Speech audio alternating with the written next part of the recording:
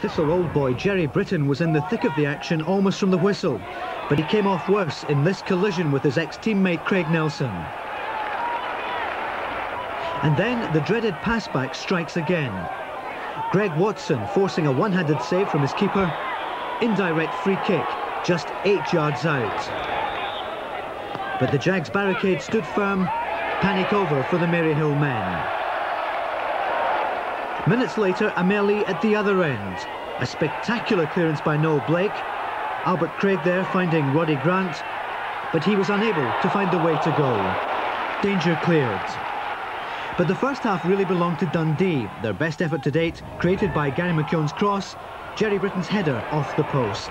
Hard to believe this team are doomed to First Division football. They gave Thistle the runaround. Nelson there denying Mike Teasdale. You would have thought it was the visitors who needed Premier points. The best the Jags could muster, this snapshot from Albert Craig. The Jags looked much sharper after the interval. Charnley and Craig taking the game by the scruff of the neck. A good run here by Albert Craig, looking up and seeing Roddy Grant. But he was offside. Thistle on the attack again. Ian Cameron forward to Craig, heading it down for Isaac English, but he's off target. Next up, a real goalmouth scramble. Charnley's corner producing no fewer than five Thistle attempts on goal. Cameron, no luck. Same for Isaac English. Craig lurking, Charnley playing it forward. Ian Cameron inside the box. And Albert Craig off the underside of the bar, but the referee said no goal.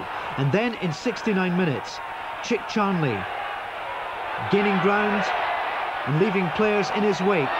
Then a delightful chip to Albert Craig, who lashes the ball past Michel Pageaud. 1-0 to Thistle is how it finished. A great result for the Jags.